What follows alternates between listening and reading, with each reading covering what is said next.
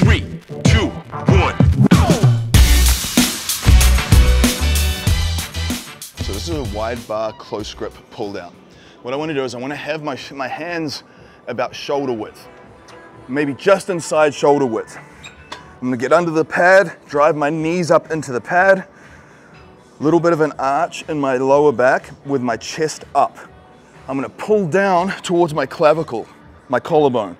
So it's down, squeeze, control the weight up, get a full extension on the way up.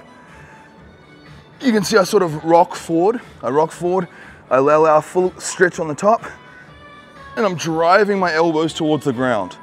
Drive those elbows towards the ground and pull the bar towards your collarbone.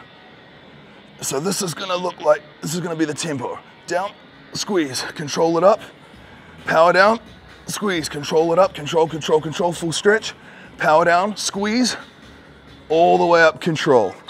That is how you do a narrow grip pull down.